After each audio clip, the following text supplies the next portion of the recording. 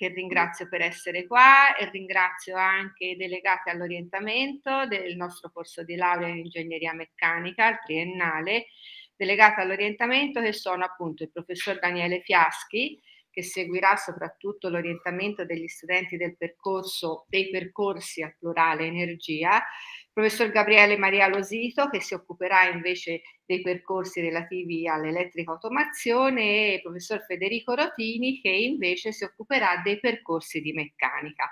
Quindi questo incontro direi e il video corrispondente vogliono essere praticamente un supporto ai nostri studenti di ingegneria meccanica per la compilazione dei piani di studio. Come ho detto qualche minuto fa, quando non era eh, partita la registrazione, l'idea è di fornirvi delle informazioni di carattere operativo barra tecnico, ma anche e soprattutto dei suggerimenti per la compilazione, quindi per la selezione degli esami. Allora, innanzitutto cominciamo a dire dove si trovano le informazioni relative ai piani di studio. Le informazioni che riguardano la compilazione dei piani di studio si trovano nella pagina dedicata della scuola, quindi nella pagina web della scuola, sotto scuola, didattica, poi andate al link piani di studio.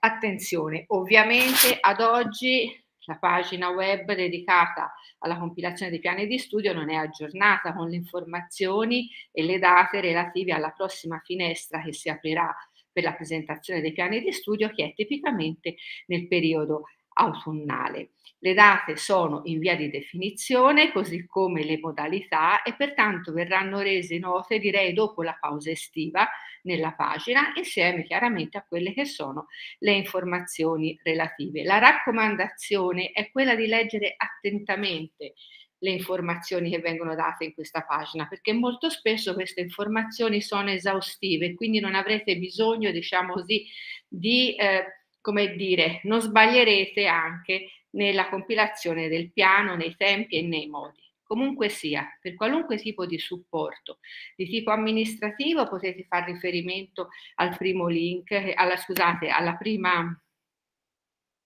alla prima uh, um, indirizzi mail che vi ho messo.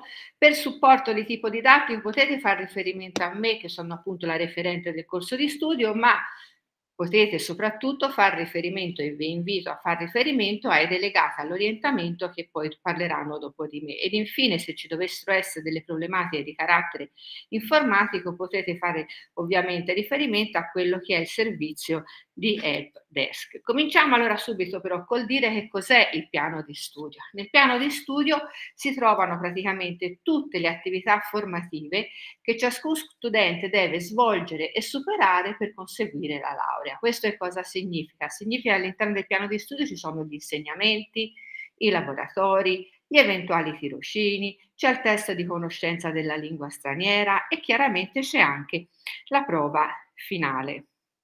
Le attività obbligatorie sono tipicamente uguali per gli studenti che appartengono allo stesso percorso e alla stessa corte. Il concetto di corte è molto importante per uno studente universitario. Che cos'è la coorte? La coorte è l'insieme degli studenti che in un dato anno accademico si sono iscritti per la prima volta al corso di studio.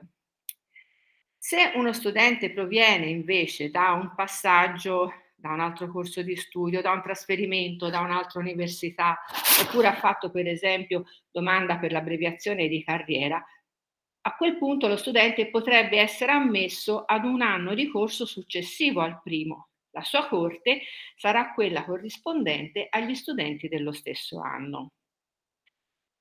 Fate attenzione, nel sistema di gestione delle carriere degli studenti, la coorte coincide con l'anno di regolamento. Quindi tutti gli studenti che appartengono alla stessa corte, allo stesso percorso, hanno uguali attività obbligatorie. Nel piano di studio però andranno a finire anche quelle che si chiamano gli insegnamenti a scelta libera, i quali insegnamenti a scelta libera sono due per tutti i percorsi in cui si articola il corso di laurea in ingegneria meccanica e sono in tutti i casi previsti al terzo anno. Questi sono insegnamenti o comunque attività proposte dallo studente e quindi devono essere scelte presentando il piano di studi. Chi presenta il piano di studi? Il piano di studi lo presentano di fatto tutti gli studenti, generalmente all'inizio del secondo anno di corso. Quando si presenta? Tipicamente si presenta nel periodo autunnale, cioè una prima finestra, e una seconda finestra è nel periodo primaverile. Le date, come ho già detto prima, sono disponibili nel sito della scuola quando questo, diciamo così, sarà ovviamente aggiornato per il prossimo anno accademico e insieme alle date troverete le modalità con cui il piano di studio può essere presentato, di cui parleremo a breve, ma troverete anche, diciamo così, che queste modalità sono differenti a seconda della coorte alla quale lo studente appartiene. Per questo quindi è importante che voi abbiate contezza del concetto di coorte. Tipicamente, come ho detto, piano di studi si presenta all'inizio del secondo anno. Questo cosa significa? Che a settembre del 2024, cioè tra un paio di mesi, auspica, dovrebbero presentare il piano di studi gli studenti che appunto a settembre del 2024 si iscrivono al secondo anno. Tuttavia questo non è, diciamo così, una condizione necessaria. Mi spiego, se uno studente non ha presentato il piano di studi all'inizio del secondo anno, non ci sono grossi problemi, ovvero lo studente può comunque sostenere gli esami a scelta libera. Questi chiaramente però non andranno in carriera, entreranno nella carriera dello studente dopo che lo studente li ha inseriti nel piano di studi ed il piano di studi è stato approvato. Cosa significa questo? Significa ad esempio se uno studente ha per esempio una borsa di studio e sostiene un esame che non è nel suo piano di studi, quell'esame non conta ai fini dell'erogazione della borsa di studio, perché quell'esame entrerà in carriera solo dopo che l'esame si trova nel piano di studi. Spero di essermi eh, spiegata. Considerate anche che se al secondo anno voi fate un piano di studi e poi vi accorgete, diciamo così, che le scelte che avete fatto non vi convincono fino in fondo, il piano di studi può essere cambiato nella finestra, diciamo, che si proporrà successivamente. Tenete anche conto che se siete degli studenti vicini alla laurea, cioè gli studenti cosiddetti laureandi ai quali mancano tipicamente uno o due esami, questi praticamente possono eh, cambiare il piano di studi in qualunque momento. Vedremo anche questo come. Quindi come si presenta il piano di studi? Per la presentazione del piano di studi ci sono di fatto due modalità. Una è la modalità online, e l'altra è la modalità cartacea. Osservate che cartaceo è tra virgolette perché in realtà non si fa un modulo cartaceo, ma si riempie praticamente un Google Form. Allora, cominciamo dalla modalità online. Come si accede mm, alla modalità online? La modalità online è disponibile su GCS. Vi ricordo che GCS è praticamente l'acronimo praticamente di gestione carriere studenti. Quindi da SOL, ovvero dai servizi online de, de, de, del sito di Ateneo, andate su GCS e qui effettuate praticamente il login con le vostre credenziali. A quel punto, attraverso il percorso menu, piano di studio, piano carriera, si entra nella pagina dove sono visualizzate le informazioni relative al piano di studi. E a quel punto che cos'è che si può fare? A quel punto quello che si può fare è modificare il piano di studi, se abbiamo già un piano associato, compilare un piano di studi, se no, lo studente non ha alcun piano di studi associato, e anche scegliere il percorso se questa scelta non è stata ancora fatta.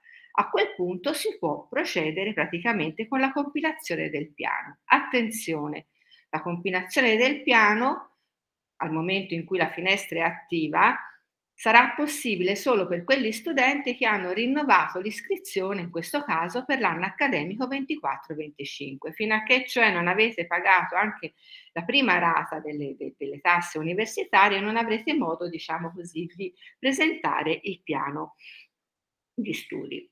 Quali sono le coorte di studenti per le quali è prevista una presentazione online del piano di studi? Le coorti sono quelle praticamente che trovate elencate sopra, ovvero, sotto, scusate, ovvero studenti immatricolati nel 2023 che nel 24-25 si troveranno quindi all'inizio del secondo anno, studenti immatricolati nel 2022 e anche studenti immatricolati nel 2021, cioè per gli studenti quindi che appartengono alle corti 23, 22 e 21 è possibile presentare il piano di studi online. I due asterischi si riferiscono al fatto che per gli studenti del 23 e del 22 è possibile, diciamo così, compilare dei, dei, piani di studi che poi saranno, diciamo, soggetti a quella che si chiama un'approvazione automatica che vedremo tra un attimo.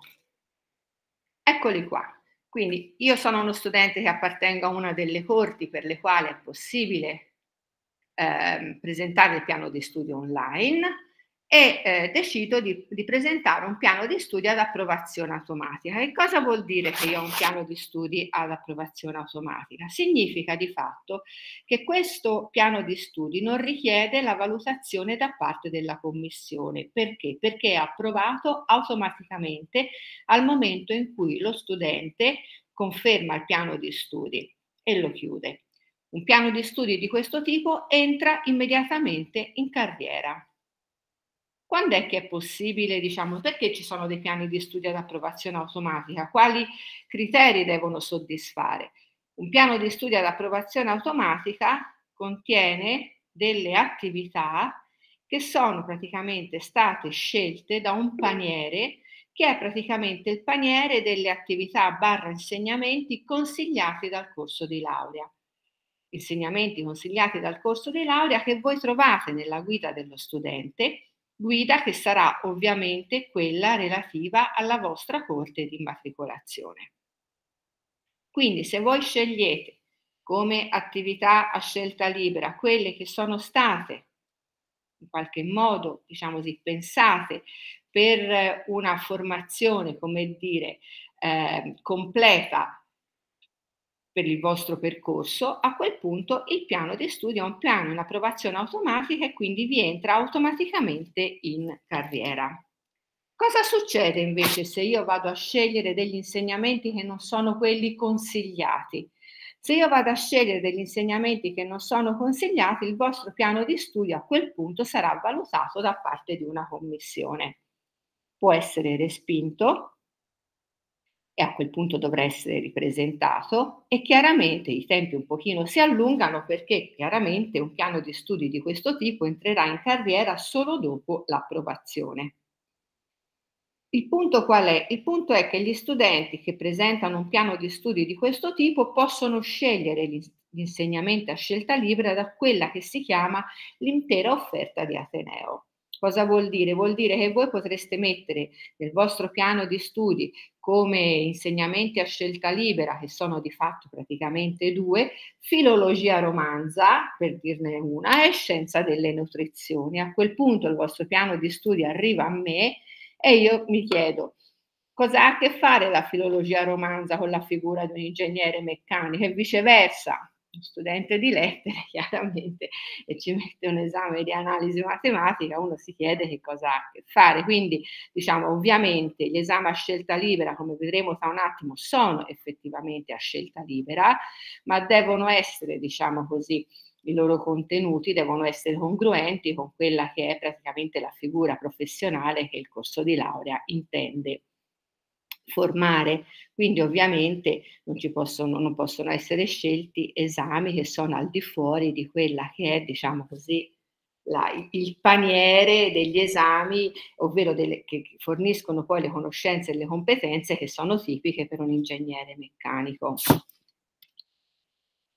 Quindi una volta che noi abbiamo sottoposto su GCS il piano di studio online, il suggerimento, mi raccomando, è quello di stampare al termine della compilazione il file PDF del piano e controllarlo. Perché? Perché una volta che la, la, viene data la conferma di presentazione, il piano non è più modificabile.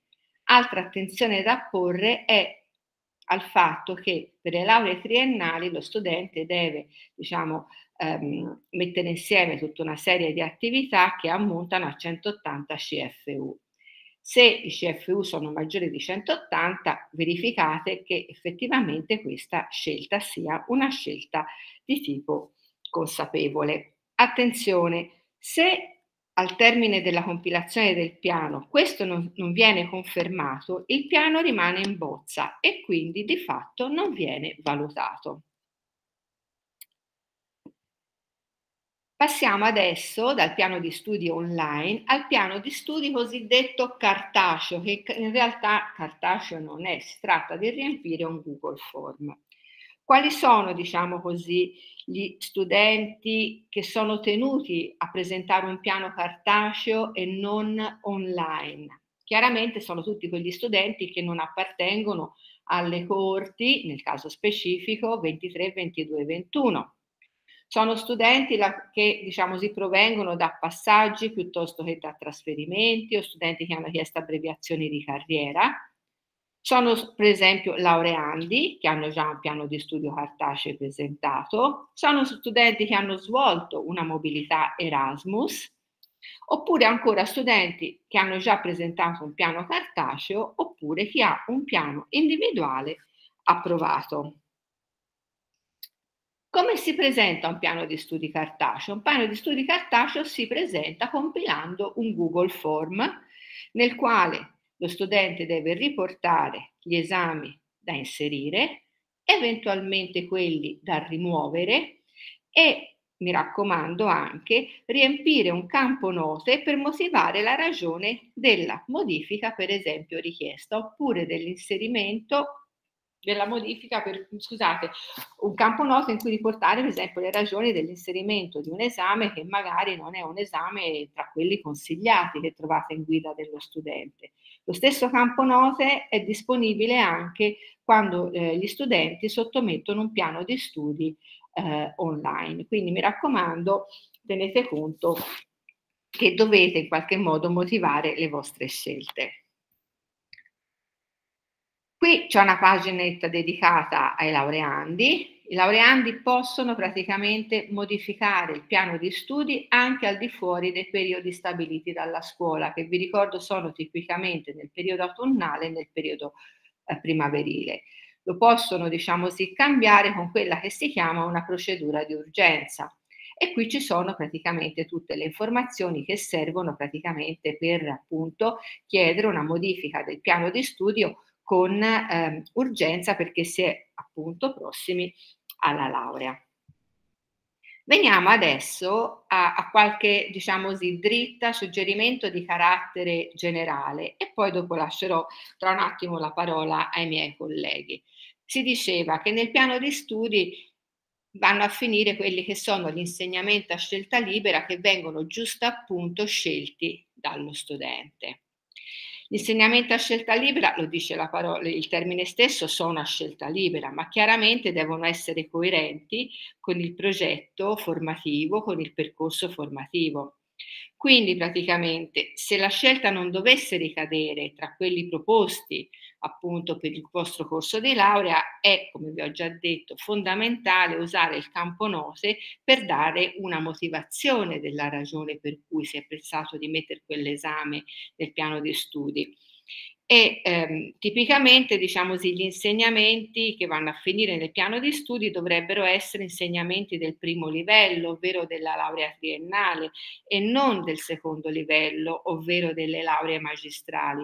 Vuoi perché spesso gli studenti non hanno ancora acquisito gli strumenti necessari, diciamo, per come dire, usufruire appieno dell'insegnamento, vuoi perché molto spesso questi insegnamenti ehm, scelti dagli studenti nella laurea magistrale magari sono degli insegnamenti obbligatori e quindi si creano diciamo, delle situazioni che poi vanno comunque sanate nel percorso magistrale. Non possono essere insegnamenti il cui peso in termini di 3 CFU è inferiore a 6, e ehm, chiaramente non devono avere contenuti che si sovrappongono con insegnamenti già presenti nel percorso, neppure parzialmente, perché a quel punto ovviamente il totale dei CFU sarebbe diciamo, inferiore rispetto a quello necessario. Quindi attenzione alla scelta, se avete dei dubbi fate sempre bene a diciamo così, consultarvi vuoi con i delegati all'orientamento, quindi il professor Rotini, il professor Losito, il professor Fiaschi, ma anche con i tutor di orientamento che la scuola vi mette a disposizione. Immaginiamo adesso di aver presentato il piano di studi e di averlo presentato online, quindi di essere, diciamo così, rispondenti alle caratteristiche dello studente che può presentare il piano online. Se io ho deciso di presentare un piano online ad approvazione automatica, cioè ho fatto la scelta degli insegnamenti all'interno del paniere che mi è stato diciamo, indicato nella guida dello studente relativa alla mia corte, questo entra immediatamente in carriera. Se io invece ho fatto la scelta di mettere all'interno del mio piano di studi degli insegnamenti che non sono quelli eh, in qualche modo suggeriti per un completamento armonico della mia formazione nella guida dello studente, a quel punto il piano di studi online viene ehm, esaminato dal referente, cioè tipicamente lo esamino io, se il piano è ok lo approvo o altrimenti posso pensare di respingerlo. In entrambi i casi lo studente riceve un'email chiaramente sua, al suo indirizzo di posta istituzionale. Se io lo approvo va in carriera con lo status approvato. Se respinto, chiaramente lo studente deve presentarne un altro entro la scadenza del periodo di ripresentazione che è indicata chiaramente nella pagina web dedicata della scuola. Immaginiamo invece di aver fatto un piano di studi cartaceo. Il piano di studio cartaceo ha chiaramente, diciamo così, dei tempi un pochino più lunghi perché ovviamente viene sì valutato dal referente, cioè di nuovo lo valuto io, però poi in ultima analisi deve essere approvato nell'ambito di quello che è il comitato per la didattica, quindi chiaramente la sua approvazione è legata anche al calendario delle riunioni del comitato per la didattica. Una volta approvato, la delibera viene gestita dalla segreteria studenti per la registrazione in carriera. Quindi voi immaginate che con tutta la buona volontà e l'efficienza della nostra segreteria studenti cioè, sono dei tempi abbastanza, diciamo così, sono dei tempi un po' lunghi che sono indipendenti dalla volontà del personale ovviamente, ma sono legati alla mole di registrazioni manuali da dover fare. Chiaramente se il piano di studi cartaceo, tra virgolette, viene respinto, lo studente è informato via email e chiaramente ne dovrà presentare un altro entro le date di nuovo riportate sul sito della scuola. E ora io lascerei la parola al professor Federico Rosini, che è il delegato all'orientamento per i percorsi al plurale meccanici. Prima di lasciare la parola al professor Rosini vorrei semplicemente dire questo. Questa presentazione è stata, diciamo così, pensata per gli studenti che nel 24-25 iniziano il secondo anno e quindi di fatto per gli studenti che hanno eh, iniziato, appartengono di fatto alla Corte 2023 e quindi sono studenti che appartengono a dei percorsi, a parte il meccanico scientifico, che hanno, diciamo così, la declinazione formativo ed applicativo. Vi ricordo che l'applicativo, a differenza del formativo, vede 12 CFU di tirocinio da fare nel eh, terzo anno. Se ci sono degli studenti immatricolati negli anni precedenti non si devono perdere d'animo perché le indicazioni sono assolutamente di carattere generale e poi comunque siamo a disposizione per delle domande. Grazie Federico, grazie a tutti e mi dici quando devo girare le slide io le muovo. Grazie Paola.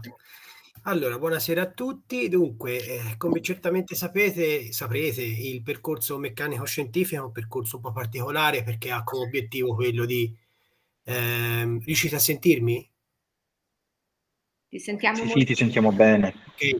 Dicevo, eh, ecco qui piovono pollici verso l'alto, dunque, quindi eh, dicevo, il, il, meccanico scientifico è un percorso formativo un po' particolare ris- mm, rispetto agli altri, perché ha come, come, obiettivo quello di fornire una preparazione che è orientata non solo a poter agevolmente eh, accedere alle lauree di secondo livello, quindi alle lauree magistrali, ma anche in prospettiva eh, fornisce una preparazione robusta di base per andare oltre le lauree di primo livello, con preparazioni che sono anche un pochino più specialisti quindi anche guardando diciamo dottorato di ricerca o comunque impiego in ambiti che riguardano più attività di ricerca che non attività tradizionali da ingegnere. E quindi in questo contesto in questo ambito fate sempre, allora, premessa generale, fate sempre riferimento alla guida dello studente. Voi dentro la guida dello studente troverete per ciascun percorso meccanico scientifico piuttosto che meccanico applicativo, formativo, piuttosto che gli altri che i colleghi Fiaschi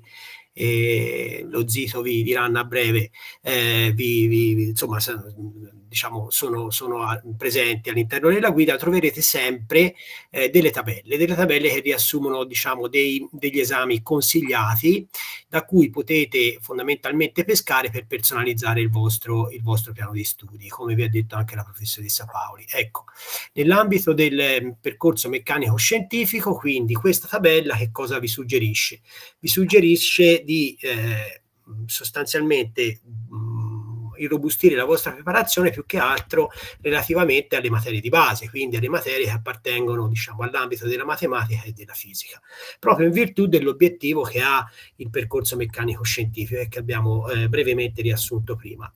In più c'è una premialità per lo studente perché nel caso in cui i 12 CFU, CFU a scelta eh, con cui andate a, a personalizzare il vostro piano di studi ricadano esattamente all'interno del pacchetto indicato, quindi nella tabella tabellina che viene suggerita eh, all'interno della guida studente, il pacchetto indicato di esami, eh, voi avrete, cioè voi, coloro che eh, decideranno di fare così, eh, ovviamente avranno una, uh, da regolamento una, verrà riconosciuto se, se, tendenzialmente una, primari, una prima, premialità aggiuntiva eh, nel calcolo finale del, del, del, voto di tesi tendenzialmente, ok?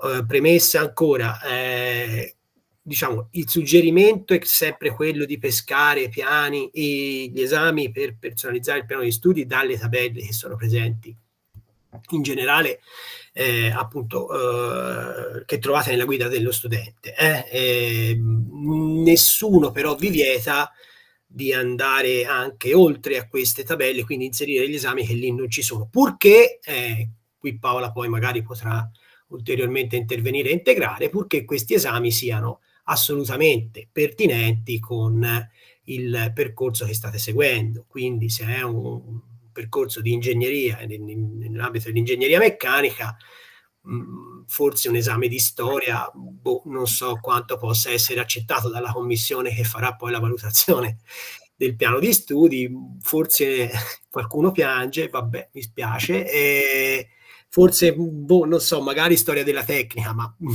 ci sarebbe da capire.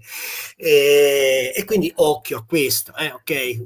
Siete liberi di personalizzarlo come volete, sempre però che, sempre eh, tuttavia, eh, buttando un occhio, ha una eh, pertinenza che deve essere quantomeno più possibile, diciamo, ristretta all'ambito e al percorso di studi che state, che state seguendo. Allora, se Paola può andare avanti, per favore, grazie.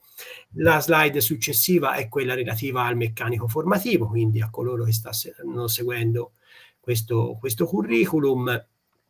Allora, come sapete, il formativo rispetto a tutti gli altri eh, punta fondamentalmente a, eh, diciamo, produrre una, una figura che poi dovrebbe, potrebbe, se vuole, accedere eh, alla, alla, laurea magistrale, quindi alla laurea di primo livello, e in questo senso, eh, quindi il, il suggerimento che, che, si può dare nella scelta degli esami è sempre quello di puntare almeno a inserire diciamo, un esame eh, che sia dell'area matematica o dell'area della fisica per irrobustire la propria preparazione e quindi poter proseguire diciamo, in maniera più tranquilla eh, percorso di studi sulla, sulla specialistica, quindi sulla laurea magistrale, in modo tale che abbiate tutti gli strumenti necessari e magari anche un pochino più eh, diciamo approfonditi per eh, poter poi eh, seguire diciamo gli argomenti eh, e le tematiche che nella, nella magistrale vi vengono, vi vengono illustrate, vi vengono fatte vedere. Poi sono tematiche sicuramente un pochino più complesse rispetto a quella della laurea triennale, soprattutto in ambito modellistico, eh? quindi eh, rafforzare diciamo, tutti gli strumenti che riguardano la matematica eh, e un pochino la fisica sono, diciamo, è una, un'indicazione di carattere generale mh, da, da tenere in considerazione. Anche qui esiste la tabellina, quindi voi potete andare a pescare gli esami eh, da quella tabella e inserire quindi e costruire i vostri 12 CFU pescando da, quella, da, quella, da quell'insieme, da quell'indicazione. Nel meccanico applicativo, invece, qui voi avete la possibilità di... Ehm, allora, rispetto al formativo sapete che l'applicativo guarda anche un po' a uscire dal percorso del, dell'università e quindi a creare una figura che in qualche maniera sia anche già piuttosto spendibile, un pochino più immediatamente spendibile sul mercato no, del lavoro, rispetto invece al meccanico scientifico e, e al meccanico formativo. Eh, quindi qui la, la, personalizzazione del vostro piano di studi eh, prevede eh, nel caso in cui eh, vogliate proseguire gli studi, potete tranquillamente seguire parte delle indicazioni che vi ho già dato per il formativo e quindi inserire tra i 12 CFO a scelta un esame che sia che relativo diciamo, alla parte della matematica e della fisica. Eh, se poi andate verso e siete orientati verso l'iscrizione alla laurea magistrale in ingegneria meccanica, Ehm, allora, uh, scusate, eh, perché qui mi chiedono di ammettere gente, ok? Eh, allora si suggerisce di inserire eh, anche l'esame di misure e meccaniche collaudi. Eh, se invece siete orientati alla, alla, alla, diciamo, alla specialistica in ingegneria energetica, quindi la magistrale in ingegneria energetica, si consiglia di inserire misure e collaudi però nei sistemi energetici, un corso eh, diciamo, che contestualizza l'attività di misura e l'attività sperimentale nei due ambiti differenti che vi ho appena citato.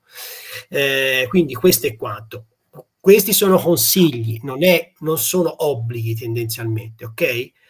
Viceversa, se avete idea di non andare verso la magistrale in meccanica o verso la magistrale in energetica, il secondo secondo esame, i secondi 6 CFU, perché poi sono moduli da 6 CFU, eh, per completare i 12 richiesti nel vostro piano di studi, invece può andare verso un esame un pochino più specialistico che va a approfondire degli interessi mm, che vi interessa spendere immediatamente nell'ambito del mondo del lavoro. Quindi, ad esempio, c'è un esame come CAD che può essere sicuramente un esame molto, un, un, un corso molto importante, specialmente al giorno d'oggi, eh, al fine di poter agevolmente poi entrare nel mondo del lavoro in cui al momento si utilizzano i CAD delle vari CAD di vari tipi, quindi sapere usare un modellatore solido direi che è, è essenziale, eh, piuttosto che altri esami, ad esempio della parte di energetica, eh, che vi consentono appunto di approfondire la parte più tecnica, diciamo, della preparazione, appunto affinché possiate spendervi direttamente in maniera più immediata nel mercato del lavoro. Io spero di essere stato chiaro, più o meno queste sono le indicazioni, ripeto ancora una volta, pescate dalla guida dello studente le informazioni, vi diceva la professoressa Paoli, perché la guida è fatta molto bene, basta perderci 5 minuti del tempo che uno ha a disposizione, ce l'avete 5 minuti, ragazzi, avete 5 minuti per fare tutto, anche eh, consultare il, web da, da, qualunque parte del mondo. Quindi spendete quei 5 minuti a leggere la guida, a leggere le tabelline e vedrete che sulla, ora nella guida dello studente i programmi dei corsi non ci sono riportati, però già dal titolo uno può capire se è interessato a un corso piuttosto che a un altro. Dopodiché, accedendo alla pagina web del corso sul sito della scuola, potete approfondire anche il programma e quant'altro. Quindi eh, mi raccomando, fate una scelta ragionata e, e, oculata perché alla fine poi ne va del vostro futuro, sia che vogliate eh, proseguire gli studi specializzandovi, sia eh, qualora foste interessati ad andare nel mondo del lavoro. Quindi sceglietevi le tematiche sulla base delle passioni che avete maturato in questi tre anni, se ne avete maturata qualcuna. E, e niente, bocca al lupo. Passo la parola agli altri delegati per eh, per le indicazioni eh. relative ad altri percorsi. Ci sono io? Sì, allora abbiamo il percorso elettrica automazione.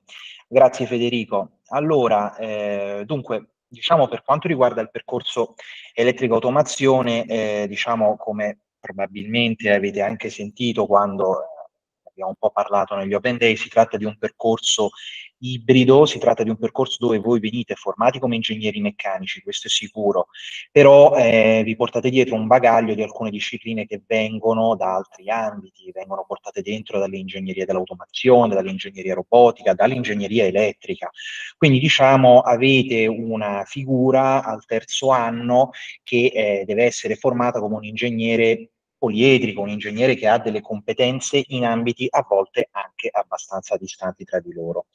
E diciamo questa poliedricità come la otteniamo? Noi dobbiamo farvi uscire come eh, seppur eh, ingegneri junior come ingegneri e questo significa che dovete avere delle competenze al terzo anno che sono delle competenze tecniche in ambiti che sono eh, quelli naturalmente del vostro percorso e quindi questo significa che se andiamo a vedere il terzo anno troviamo delle materie eh, fortemente tecnico-applicative come per l'appunto elettrotecnica industriale, eh, laboratori, misure elettriche, robotica industriale. Ora, eh, aver introdotto queste materie, naturalmente a fianco di quelle che sono classiche dell'ingegneria meccanica al terzo anno, quindi appunto le, le classi a costruzione di macchine e fluidodinamica, eh, a scapito di cosa si fa? Si fa a scapito di darvi delle nozioni avanzate negli ambiti matematico-informatici. E questa naturalmente è una cosa che in qualche modo voi siete invitati a... Eh, diciamo, compensare andando a fare una scelta oculata dei 12 crediti eh, a scelta. Sulla destra eh, vi abbiamo riportato lo schemino dei crediti, diciamo degli esami che sono suggeriti all'interno di questo percorso, eh, sono gli stessi esami sia per il percorso, eh, scusate, per l'indirizzo formativo e per l'indirizzo applicativo, ehm, però diciamo vanno visti in maniera differente. Adesso ci arriviamo a quello applicativo che è un po' delicata la situazione.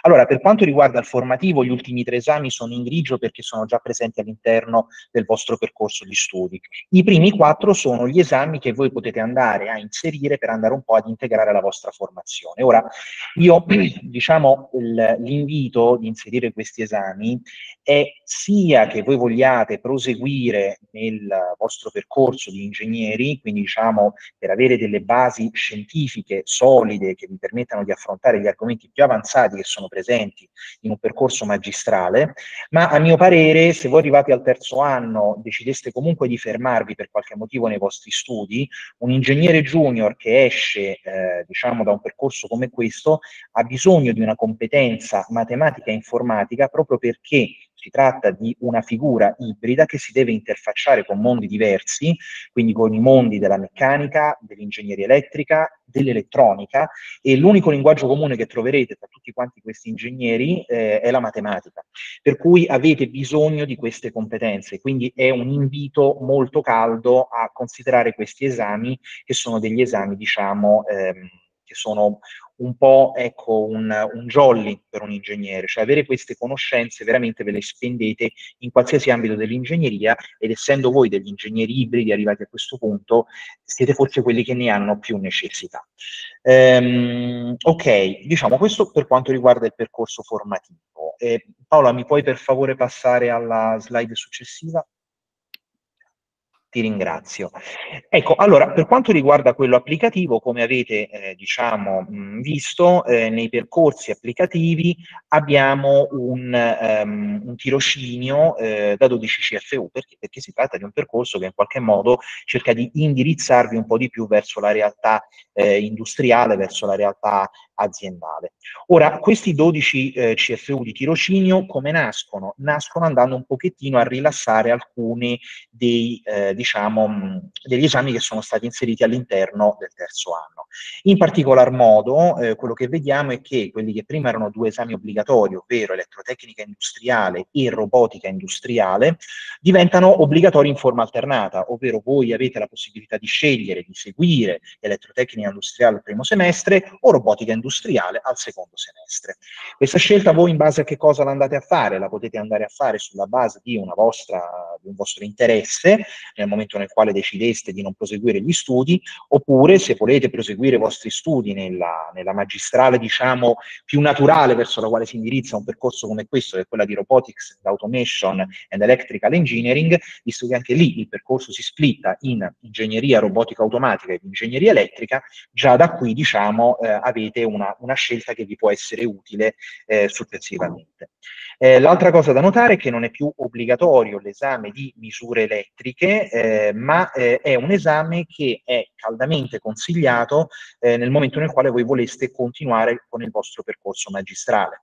Quindi diciamo l'aspetto fondamentale qual è? Se voi prendete un percorso di tipo applicativo, non siete bloccati, non è che non potete più andare a fare la magistrale, dovete fare una scelta oculata all'interno degli esami opzionali.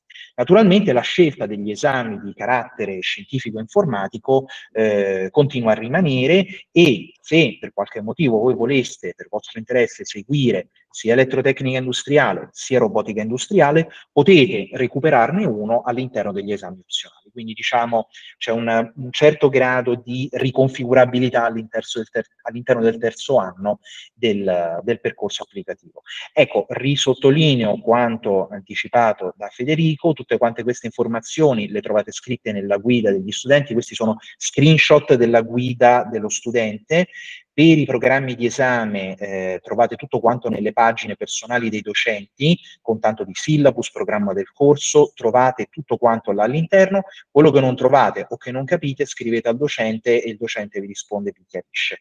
Fate questa cosa prima di consegnare il piano di studi ok? Perché dovete sapere che cosa andate a studiare, cosa andate ad inserire, perché il piano di studi non è, diciamo, una condanna a morte, ma comunque è una cosa che vi vincola, d'accordo? Quindi mh, fate queste scelte in maniera oculata, scrivete anche a noi, noi in qualche modo cerchiamo di, ecco, di, di, di indirizzarvi. Ok, io diciamo non ho, non ho nient'altro da aggiungere sul, sul, percorso elettrica automazione, per esclusione penso di passare la parola a, a Daniele per il percorso energia. Grazie. Sì, grazie Gabriele, grazie a tutti, eh, buonasera a tutti, anzi buon pomeriggio. Eh, mi chiamo Daniele Fiaschi, sono delegato all'orientamento in del percorso energia, percorso energia che negli ultimi tempi, diciamo così, si è sdoppiato in percorso energia formativo e percorso energia applicativo un po' diciamo prendo spunto anche dalla meccanica che dal percorso meccanico che è anche ancora più ramificato. Allora, come avete visto, se l'avete fatto, se siete stati a suo tempo a Open Day, il percorso energia dell'ingegneria meccanica, eh, io tengo sempre a sottolineare che eh, è quello eh, di cosa ci occupiamo. Ci occupiamo sostanzialmente di sistemi di conversione dell'energia, no? ci occupiamo delle fonti, delle risorse di base, delle politiche energetiche, di tutto quello, un po' di tanto di quello che sentite in tv, diciamo, ci occupiamo proprio dei sistemi di conversione dell'energia, come vi sarete accorti se siete al tempo di fare il piano di studi anche assaggiando un pochino degli insegnamenti del secondo anno, per esempio. E sostanzialmente il piano di studio non sto qui a ripetere quello che hanno detto i miei colleghi molto bene, ma eh, diciamo c'è una certa similitudine su diciamo, la consistenza e i contenuti delle scelte quando si vanno a fare i piani di studio, nel senso che il percorso energia sia formativo sia applicativo prevede 12 CFU a scelta libera, diciamo opzionabili al terzo anno di corso. Tra questi le raccomandazioni solite sembra di essere ripetitivi, però eh, diciamo mentre e nei tempi anche quando l'ingegnere era il semplificatore per antonomasia delle questioni, diciamo che lo, le doveva risolvere le questioni, semplificandole magari poi a, a, distanza di anni ci si accorgeva che aveva fatto degli errori, però in qualche modo aveva progettato qualcosa e aveva risolto dei problemi.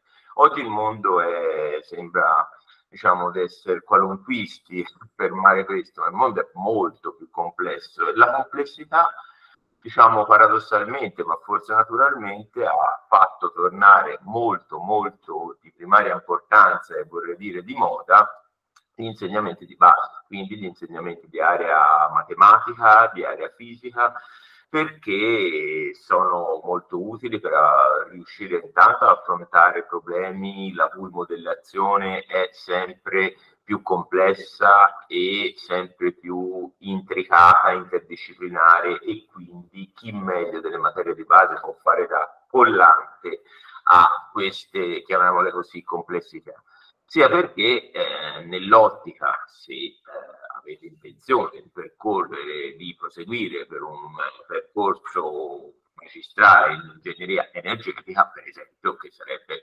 teoricamente lo sbocco naturale della, di questo percorso, sicuramente ne troverete giovamento, beneficio in quanto riuscirete a affrontare problemi più complessi che riguardano approfondimenti, per esempio che offriamo in magistrale di energetica su tutte le energie rinnovabili che assaggerete, lo dico diciamo perché lo conosco in quanto lo insegno alle energie rinnovabili del primo livello, ma diciamo ne assaggerete la complessità in maniera molto più eh, articolata, mentre invece quello che farete al terzo anno con energie rinnovabili di base sarà, si limiterà nella sua complessità.